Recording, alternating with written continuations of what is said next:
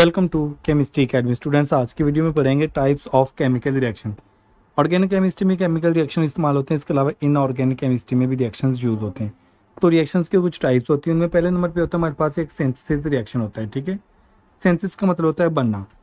एक ऐसा रिएक्शन है जिसमें दो रिएक्टेंट मिलते हैं, जैसा कि नाइट्रोजन और हाइड्रोजन के मिलने से अमोनिया गैस बन रही है तो इसको बोलते हैं सेंथिसिस रिएक्शन यानी कि दो चीज़ों के मिलने से, दो रिएक्टेंट के मिलने से एक प्रोडक्ट बन जाए तो इस किस्म के रिएक्शन को बोलते हैं सिंथेसिस रिएक्शन इसी तरह दूसरे नंबर पे आता है, हमारे पास डी कंपोजिशन रिएक्शन जैसा कि नाम से पता चल रहा है कि डी का मैंने होता है रिमूवल यानी कि तोड़ना, ठीक है? डी कंपोजिशन मतलब होता है टूटना।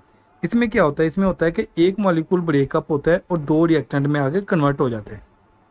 जैसे कि आप देख रहे हैं कि अमोनिया ब्रेकअप होने के बाद नाइट्रोजन और हाइड्रोजन में कन्वर्ट हो रहा है तो इस किस्म को रिएक्शन को बोलते हैं हम लोग डी कंपोजिशन रिएक्शन उसके बाद नेक्स्ट आता है हमारे पास single displacement reaction single displacement को हम लोग सब्सिट्यूशन सब्सिट्यूशन रिएक्शन भी बोलते हैं।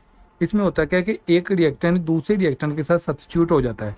जैसे कि अगर एच की बात करें, एक एसिड है, हमारे पास उसका मैग्नीशियम के साथ रिएक्शन करवा दिया है। तो होगा क्या कि ये जो हाइड्रोजन है ना, ये सब्सिट्यूट हो जाएगा किसके साथ? मैग्नीशियम के साथ। सब्सिट्यूट का मतलब है कि हाइड्रोजन यहाँ से निकल जाएगा और उसकी जगह पे कौन अटैच हो जाएगा? मैग्नीशियम अटैच हो जाएगा और हाइड्रोजन साइड पे हो जाएगा। यानी कि सब्सिट्यूशन हो गई है। ये सिंगल डिस्प्लेसमेंट रिएक्शन है। एक होता है डबल डिस्प्लेसमेंट रिएक्शन यानी कि दो रिएक्टेंट है, दोनों रिएक्टेंट आपस में इंटरचेंज हो जाते हैं।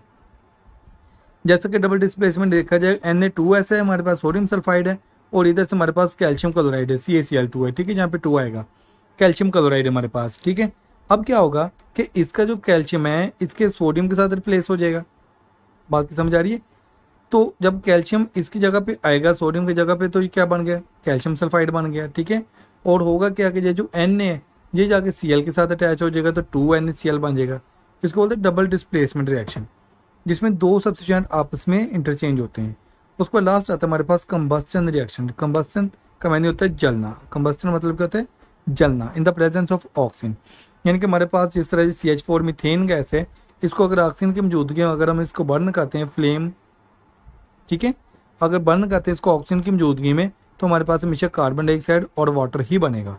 तो इस किस्म के रिएक्शन बोलते हैं कम्बस्टन रिएक्शन जिसमें ऑर्गेनिक कंपाउंड को हम लोग जलाते हैं तो उससे मैं कार्बन डाइऑक्साइड और वाटर आसलो इसे बोलते हैं कम्बस्टन रिएक्शन तो ये आज की वीडियो थे, उम्मीद है सारे बच्चों को रिएक्शन की समझ आ गई है। अगर आपको वीडियो अच्छी लगी है तो प्लीज़ मेरे चैनल केमिस्ट्री अकेडमी